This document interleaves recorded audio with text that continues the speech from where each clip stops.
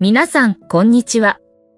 サッカー日本代表で歴代最多81試合で首相を務めた長谷部誠選手。アイントラハトフランクフルトが17日、今季限りで現役を引退すると発表した。クラブとは近年、1年ずつ契約を更新し、2027年までコーチとなる契約を結んでいた。記者会見した長谷部選手はこの時期に発表した理由について、ブンデスリーガでのラストスパートに集中したいから、家族などと相談して今が良い時期と総合的に判断しました、と語った。さらに、娘にはまだ言っていません。学校で話してばらして欲しくなかったから、と冗談交じりに語った。長谷部選手は静岡藤枝東高から02年に J1 浦和に入り、08年からドイツ一部のウォルフスブルクに移籍。ニュルンベルクでの約1年を経て、14年からアイントラハトフランクフルトでプレーする。ドイツリーグでは元韓国代表フォワードのシャハンネ氏を上回る。アジア人最多出場記録を持つ。日本代表には06年に初選出され、岡田武史監督時代の08年から定着した。ワールドカップ W パイには10年南アフリカ大会から3大会に出場。いずれも首相を務め、18年ロシア大会限りで代表を退いた。代表通算出場は歴代7位の114試合で2得点。岸壁春、サッカーの元日本代表首相で、ドイツ一部アイントラハトフランクフルトに所属する長谷部誠は17日、記者会見を開いて今季限りでの現役引退を表明した。地元報道陣を前にドイツ語で会見。冒頭でハセブは、まずは皆さん。今日は来てくれてありがとうございます。私は今季終了後に現役を引退します。と今季限りでの引退を口にした。引退を決断した理由として、今年あまり出場していないのも原因です。出場していないと体に負担が大きいです。私は長年、いつかその瞬間が来るに違いないと感じていました。もう5、6年もそんな状態が続いています。今が適切な時期だと思います、と明かした。また、今後については、まだ長くドイツに残ることを想像できます。休暇や親に会うために日本に帰国したり、ドイツでコーチライセンスの取得をしたいです、と語った。静岡県藤枝市出身の長谷部は浦和を経て、08年1月にドイツ一部のウォルフスブルクに加入。2期目の08、09年シーズンにリーグ優勝に貢献し、ニュルンベルクを経て14年6月にイーフランクフルトに加入。21から22年シーズンには欧州リーグ優勝に貢献したが、今季はここまで公式戦の出場が13試合に限られていた。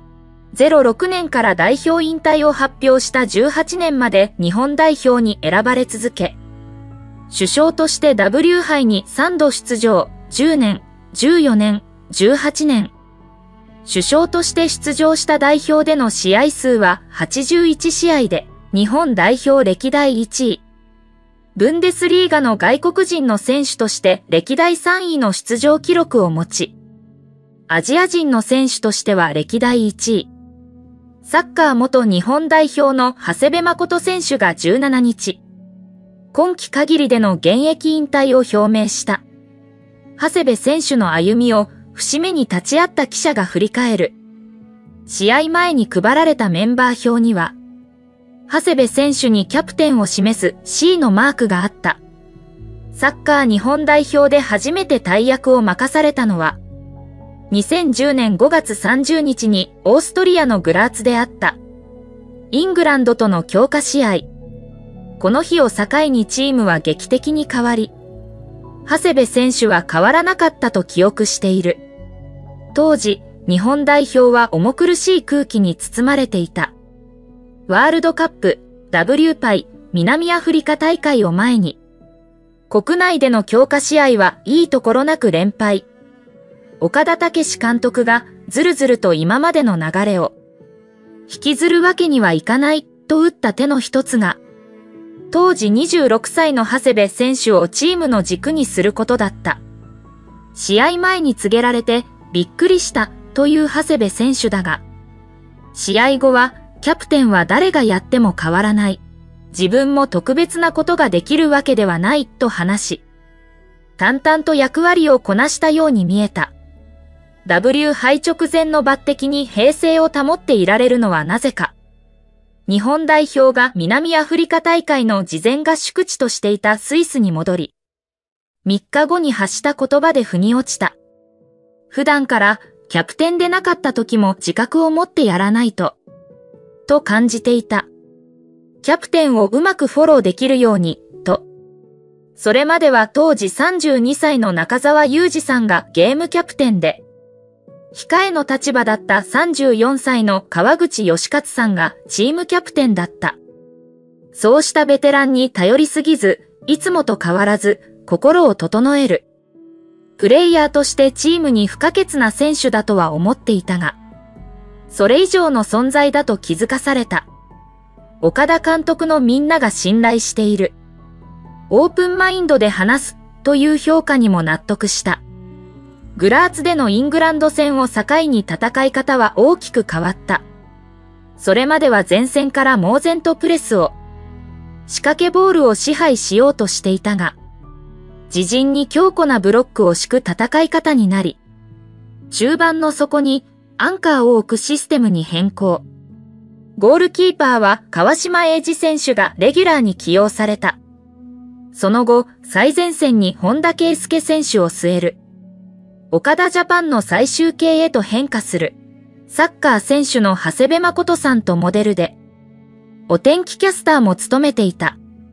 佐藤ありささんが2017年に結婚されました。ここでは、二人の慣れ初めや結婚式、子供についてまとめています。サッカー日本代表首相のミッドフィルダー長谷部誠が9日、自身の公式サイトを更新し、モデルの佐藤ありさと同日に婚姻届を提出したことを発表した。長谷部は大ファンのバンド MR.Children の歌詞を引用し、訪れるであろう困難に対しても二人で共に手を取り、笑みを絶やさず謙虚に歩んでいきたいと思っています。と決意を綴っている。2016年7月に二人は5年間の交際を経て結婚されました。サッカー選手とモデル。接点がないように思われますが、どのように出会ったのでしょうか？二人は佐藤ありささんが専属モデルを務めていた雑誌、ノンノーの企画で対談し、急接近したそうです。長谷部誠さんからアプローチをしたそうですよ。二人は2010年12月、女性ファッション誌、ノンノーの対談企画で知り合い、佐藤がお天気キャスターを務めていた日本テレビ、ゴーイング、スポーツニュースでも、インタビューを行うなどして徐々に距離を縮め、12年春頃に交際に発展、佐藤ありささんは大のサッカー好きであり、長谷部誠さんと意気投合したそうですね。また、二人ともミスターチルドレンの大ファンで、さらに意気投合したそうです。交際に発展しないのが不思議なくらいですね。長谷部さんは佐藤ありささんに迷惑をかけないよう、交際中は試合に招待するときも周囲に気づかれないように、必ず友人数人を交えて呼んでいたそうですね。気配りがすごいです。それほど大切に思われていたんですね。佐藤ありささんと長谷部誠さんは、ドイツのフランクフルトの伝統的な教会で挙式をしたそうです。佐藤ありささんのウェディングドレスは、クラシカルでデコルテの部分がレースになっているデザイン。とっても可愛らしいですよね。長谷部誠さんゆかりの地で伝統的な教会。女性の憧れですよね。ノンノモデルとして活躍していた佐藤ありささん。同じくノンノモデルの桐谷美玲さんや、大間彩さんがドイツまで駆けつけたようです。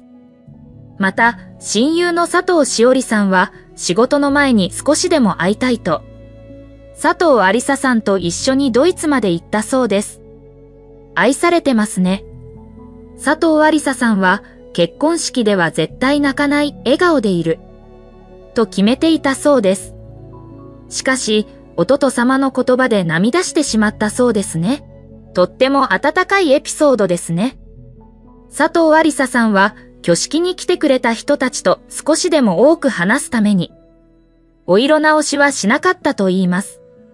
一つ一つのテーブルを回って、コミュニケーションをとっていたようですね。人柄のわかる素敵な結婚式ですね。サッカー日本代表の長谷部誠の妻でモデルの佐藤ありささんが27日、自身のインスタグラムで妊娠を報告した。それによると、佐藤さんはお腹の大きい写真とともに、この度、新しい命を授かっていることを、ご報告させていただきますと発表。お祝いのコメントや体調を気遣ってくださる。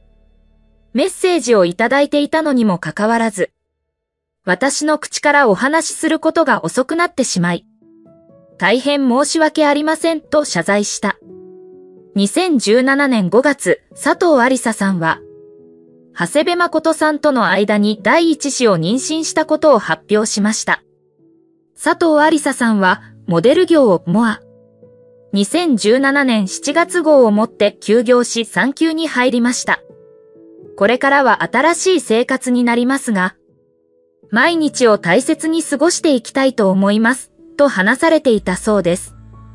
10代の頃からずっと仕事をしてきたという親友の桐谷美玲さんも、妊娠の発表に心から祝福していたようでしたね。とっても美人なお二人です。サッカー日本代表ミッドフィルダー。ドイツブンデスリーガーイントラハトフランクフルト所属の長谷部誠選手との間に第一子を妊娠している佐藤。彼女の妊娠が話題になると、桐谷は嬉しいニュースを聞くだけで心が温かくなりますね、とにっこり。その一方で不思議な感じですね。10代の頃からずっと一緒にいたので、と率直な心境を明かした。最後までご視聴いただき、ありがとうございました。何かございましたらコメントください。よかったら高評価とチャンネル登録もよろしくお願いします。ではまた次回でお会いしましょう。